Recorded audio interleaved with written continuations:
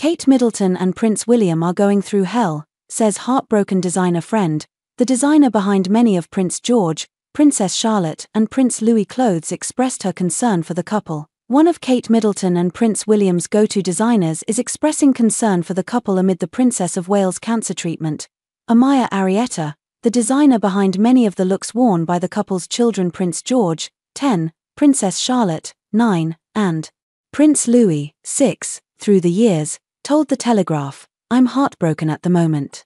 I think they are going through hell. Princess Kate, 42, has dressed her children in clothes by the Spanish born designer since Prince George was a baby, something Arrieta discovered while grocery shopping. The first time I realized Prince George was wearing my designs, I was in Waitrose and saw the picture of him on the cover of Hello magazine, she recalled. That was a huge moment because they had been coming to us, but you never know if they'll actually wear it, she continued to work closely with the children's nanny, Maria Teresa Turrion Borrallo, on outfits for George, Charlotte, and Louis, including momentous occasions that make the front page, such as Princess Eugenie's 2018 wedding, birthdays, and the royal family's annual Christmas Day outing to church. It's often a very tight deadline, she reveals. We would do anything for them. The children always look amazing in the end. Princess Charlotte, who celebrated her ninth birthday on May 2nd, recently wore a skirt by Amaia London in the photo released to mark Mother's Day. The image prompted Kate to release a statement after it was removed by multiple news agencies due to suspicions of manipulation. Like many amateur photographers, I do occasionally experiment with editing. I wanted to express my apologies for any confusion the family photograph we shared yesterday caused, she said. Arrieta told The Telegraph, Dressing the royals gives me so much pride, I really do care about how they look, Less than two weeks after the Mother's Day photo controversy, Princess Kate appeared in a video to deliver a self written speech announcing her cancer news. Post operative tests from her planned abdominal surgery in January revealed that cancer had been present, prompting her to start chemotherapy, the royal mom said.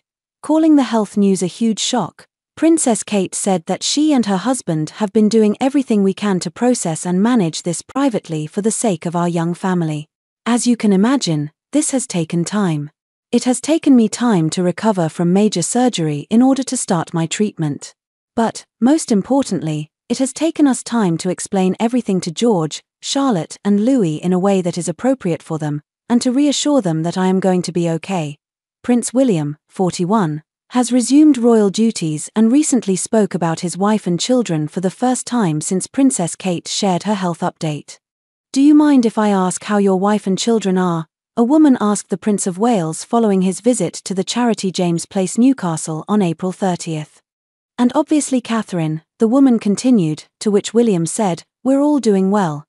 The news of Princess Kate's diagnosis came weeks after her father in law, King Charles, announced on February 5 that he was undergoing treatment for cancer. During the King's recent hospital procedure for benign prostate enlargement, a separate issue of concern was noted. Subsequent diagnostic tests have identified a form of cancer, the palace said in a statement. His Majesty has today commenced a schedule of regular treatments, during which time he has been advised by doctors to postpone public facing duties.